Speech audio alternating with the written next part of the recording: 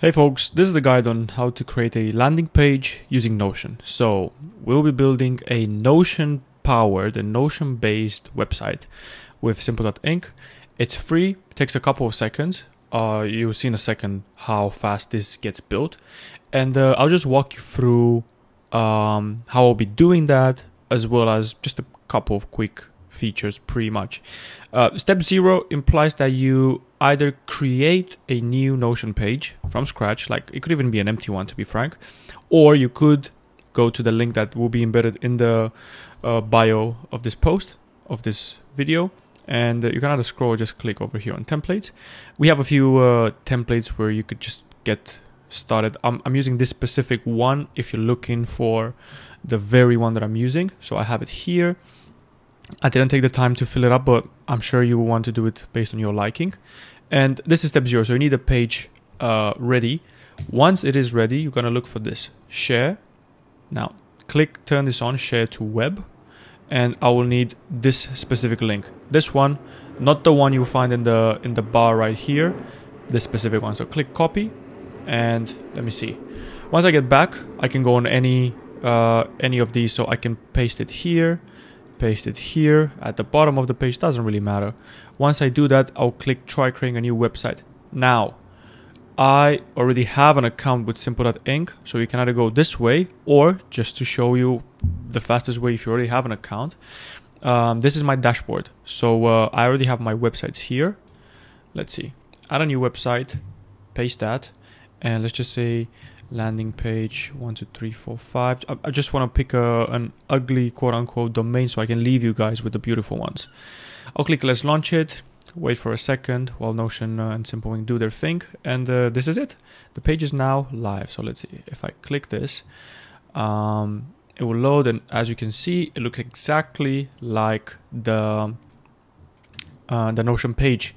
Now this is pretty much the landing page so uh, everything that is being changed in Notion. So let's say create landing pages with Notion. Oops, let's see. Any change that I create right here will be reflected on the very uh, website. After a couple of refreshes, this is just because um, cache does its thing. But if I would have opened in incognito mode, it would already look like the the updated version. This was pretty much it when it came when it comes to creating the the landing page in Notion. Uh, it will be down to either the template you'll be using or the very changes you make on uh, on your Notion page. But um, once you have that, uh, sky's the limit. So in my dashboard, what I could do, what I suggest doing is actually first of all have a look at our integrations and power ups because you might want to add look for instance analytics you're gonna need an analytics option maybe some forms, especially the forms that we're making here, uh, payments, etc. But um, uh, I'll be having a look at that page if I were you. And then what I would look for is add a custom domain. Now, in full transparency, full disclosure, this is um, available on a paid plan. But uh, once you have a look at that, you can make up your own decision whether you want to stick to a that simple.ink subdomain, which by the way is free and will continue to be free. You still get a beautiful subdomain with a short URL and a memorable one. Um, but um, if you're looking to go for a paid plan, that is fine. If not, that is fine as well. If you're looking to go for a paid plan, you're gonna have some uh, a couple more features. Some of them are gated, such as this one um, custom adding a custom domain. And by the way, by a custom domain, I just mean uh, startup.com or whatever domain you own. Although that would actually be a lovely domain to own. Um, let's see what else. I could edit the. I don't think I have any pages in here, but um, you could edit the SEO settings, which you might want to do. Password protected. I don't think you're gonna want to password protect any of these pages, but um, you might want to add a custom URL. So I don't have any sub pages here, but um, a custom URL would be, I have this because I clicked on a heading, which gave me this uh, hash, uh, which would be an anchor link. That's something else. But um, by default, let's say if I had a sub page called pricing, Notion would call it something like not really like but Notion would call it something like this. So it would add in some rubbish here, which isn't specifically rubbish, is the unique code of the page. But um, what you could do again, if you're on a paid plan, this is well a feature that is uh, gated.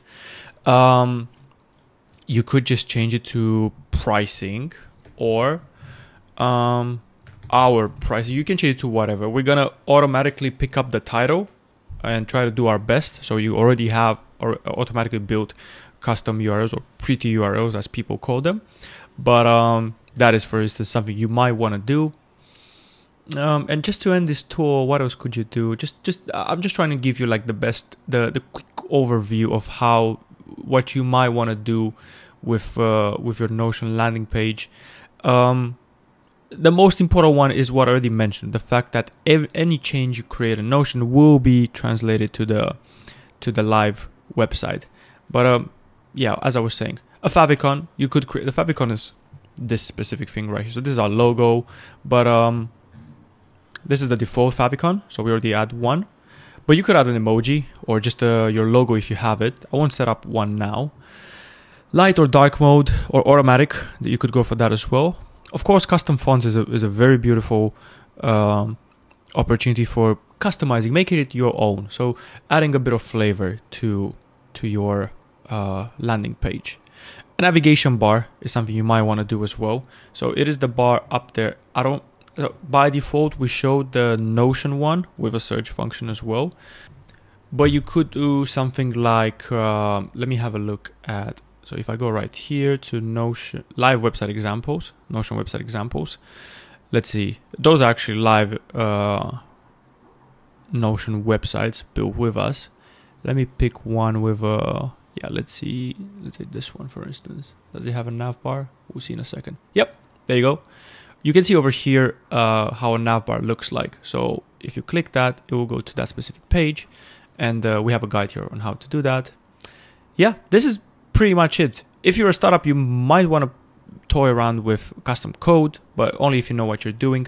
But um, these are this is just a quick overview of what you could do with a uh, Notion landing page builder the rest is up to you really but um, if you need any help or if you want i guess even an opinion really feel free to use this button right here the live chat button. You click that you'll be connected to somebody from our from our team and uh, we'd love to help really. But um, yeah let us know in the comments. Drop your landing page below for everyone else to see and uh, i'll see you next time